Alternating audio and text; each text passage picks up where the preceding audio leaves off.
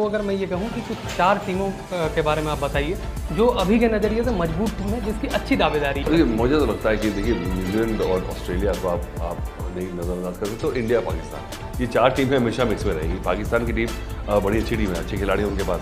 मुझे लगता है कि उनके पास एक एक्सपेक्टर है कि they want to prove to the world तो मुझे लगता है कि उनको ज़्यादा देखते नहीं हैं। आजकल पहले अभी एक एक खिलाड़ी का नाम याद रहता था हमें पाकिस्तान का। आजकल क्योंकि आपस में मैचेस नहीं होते तो हम हम नहीं हमें अब आप मुझे पूछ लें तो मुझे याद नहीं है कि पाकिस्तान के चार पाँच खिलाड़ियों के अलावा कौन उनकी टीम में है।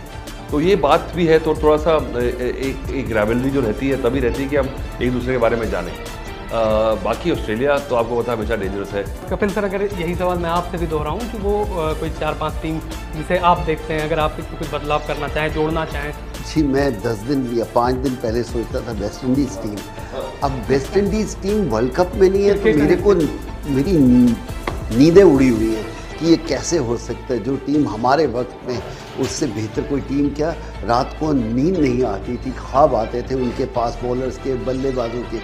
अब क्रिकेट में इतनी तब्दीली आ गई है तो उसके बारे में कहना बहुत मुश्किल है। एक बार टीम बन जाएँगी टीम को असेस करेंगे तो बेहतर होगा। अब